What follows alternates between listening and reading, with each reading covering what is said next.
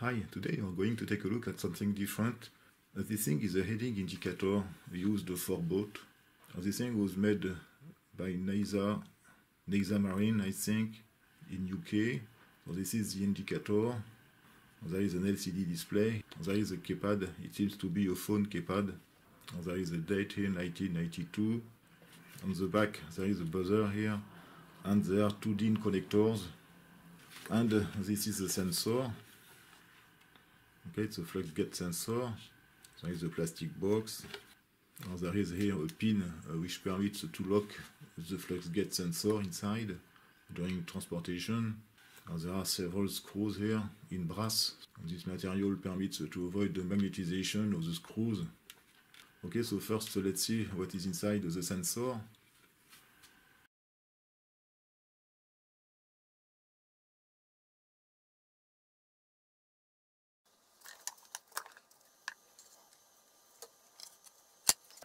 Okay, we can see the sensor itself here.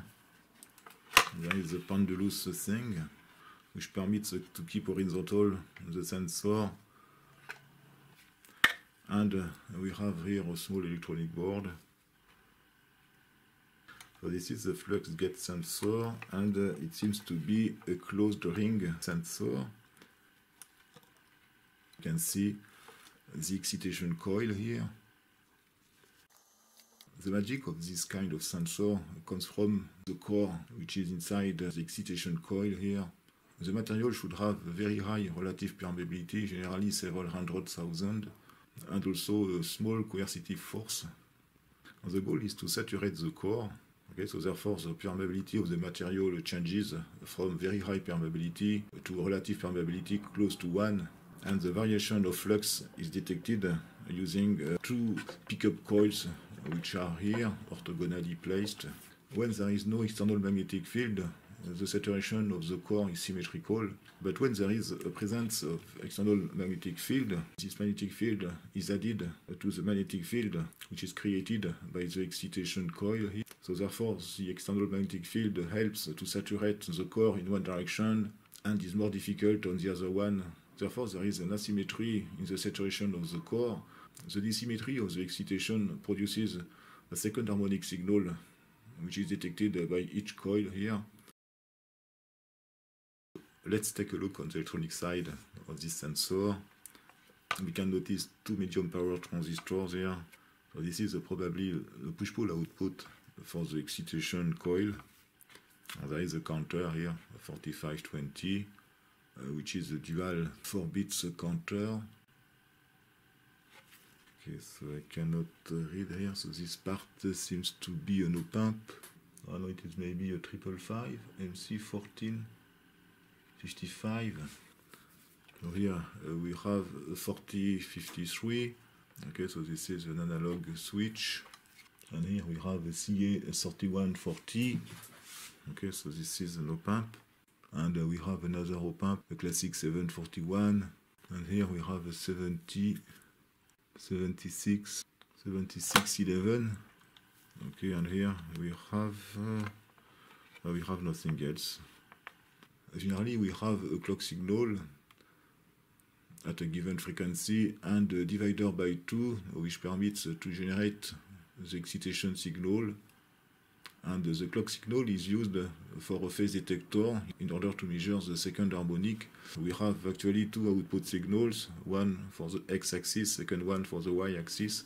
So a phase detector generally uses an, an analog switch, so we can expect to have here uh, the phase detector which uses uh, this analog switch so this is a triple two inputs analog switch so this is a good candidate uh, for a phase detector okay so we should have also a divider by two uh, for the generation of the excitation signal this is maybe done by this counter here so normally the DC voltage corresponding to these two signals are fed to an ADC, which is normally inside uh, this box.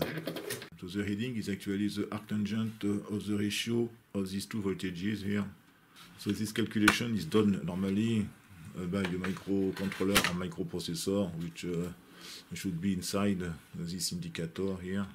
So I don't know exactly what is the use of the keypad here. This is maybe to set uh, an alarm because there is an alarm and it is written also here alarm set. Okay. And there is also an annunciator for the alarm and another one uh, for damping here. Okay, so let's see what is inside this indicator.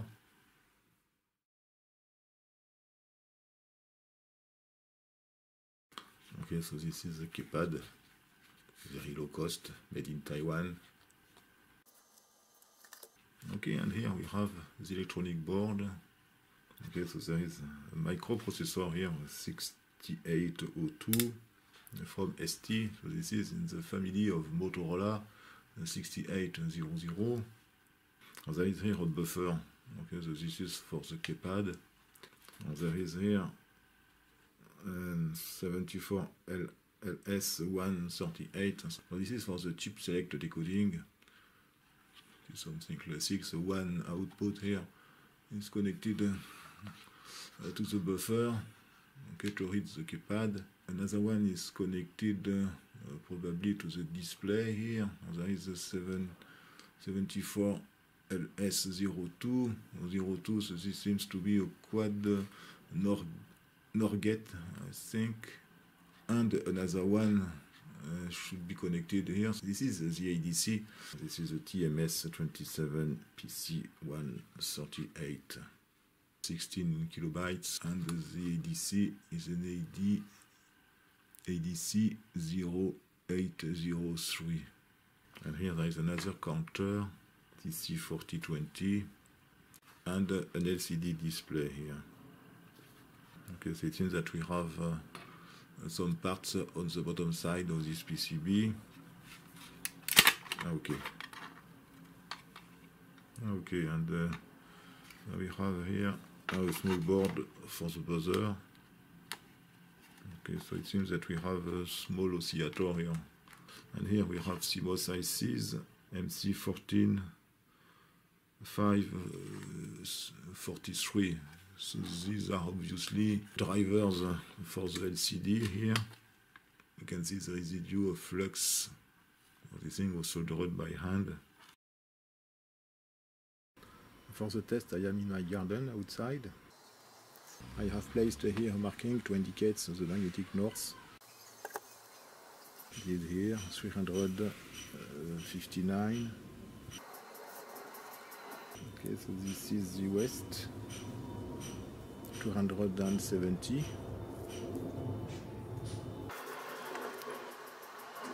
the south 180 and uh, the east 86 it is not too bad.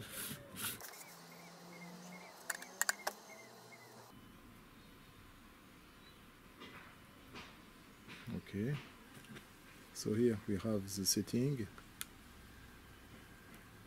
We can adjust the limit for the alarm. For example 45 degrees.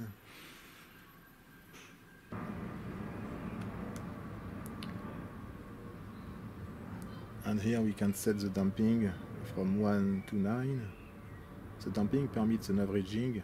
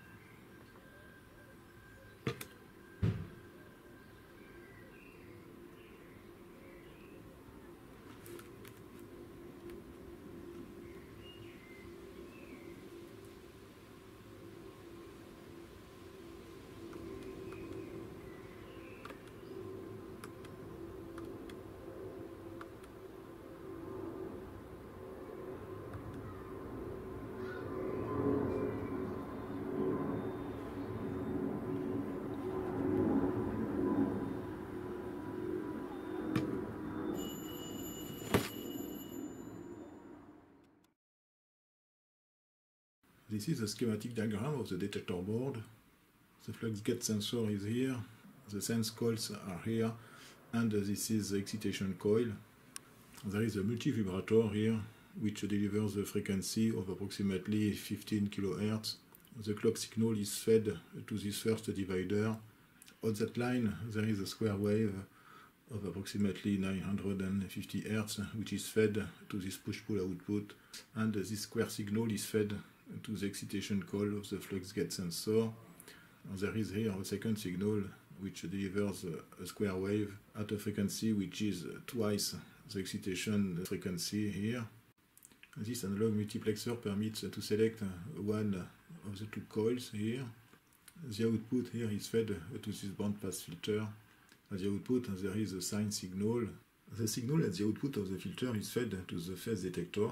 The phase detector is an amplifier with a gain of plus 1 or minus 1 depending on the state of the switch. The switch is driven by the reference signal to F.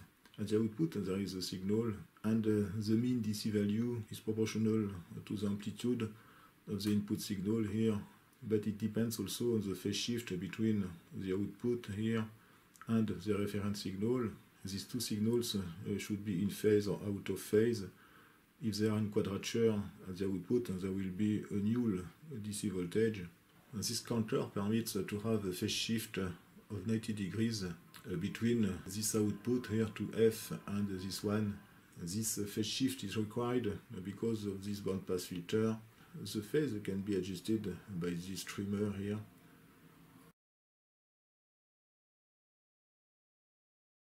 The last circuit here is a second order low pass filter which permits to have here a DC voltage corresponding to the mean value of the signal at the output of the phase detector.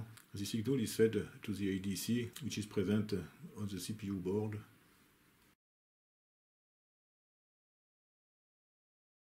This is the schematic diagram of the CPU board.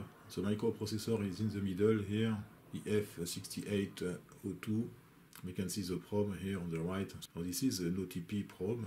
You can see that only 12 bits are used for the address. Therefore there is a maximum of 4 kilobytes of code inside.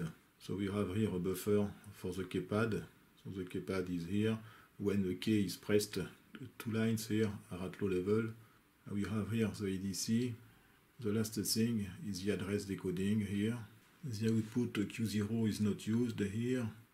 Q1 is used for the LCD display, Q2 is used for the selection of the ADC, Q3 is used for the keypad, Q4 for the buzzer, Q5 and Q6 permit to select the channel of the ADC. This permits the measurement on the x-axis or the measurement on the y-axis.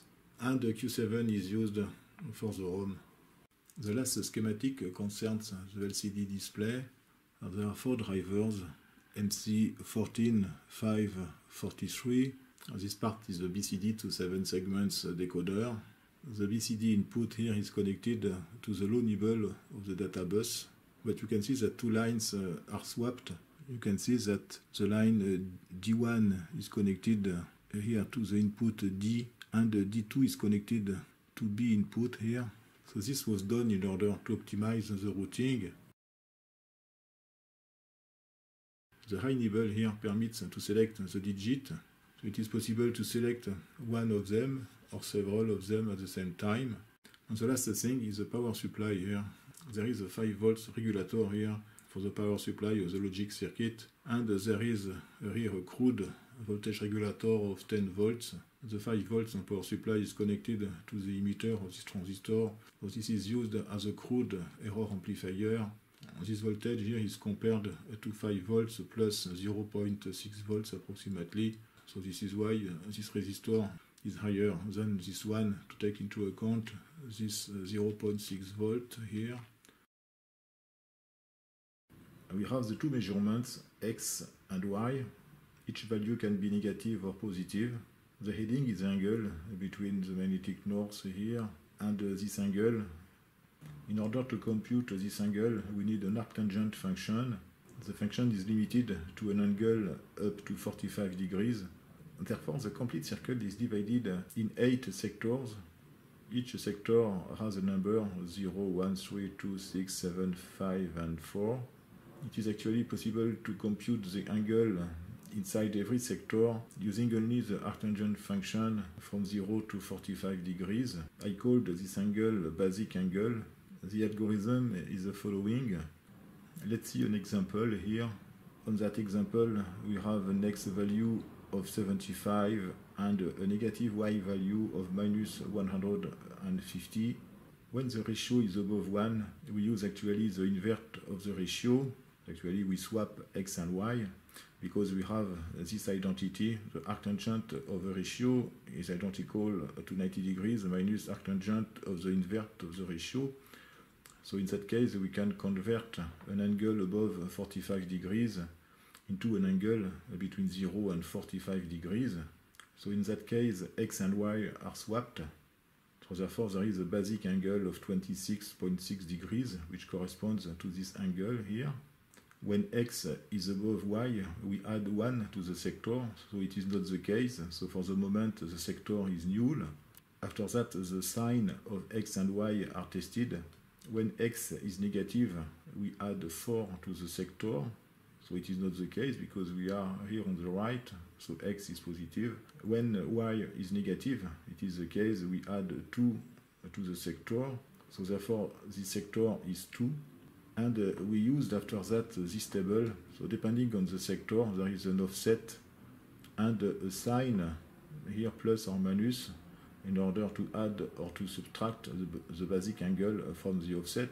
The offset equals 180 and uh, we need to subtract the angle. So the final angle is 180 minus 26.6 degrees. So therefore, the angle is 153 degrees. So this is the algorithm which is used on this unit. The arctangent function uses a lookup table. And here we have a table with uh, eight lines. The first value on the table is a pointer uh, to a function. So there are two functions, one which permits to add the basic angle, the second one which permits uh, to subtract the basic angle. The second parameter is actually the offset angle here. So first uh, the sector is computed and after that the sector permits to select one between eight lines here and the heading is calculated.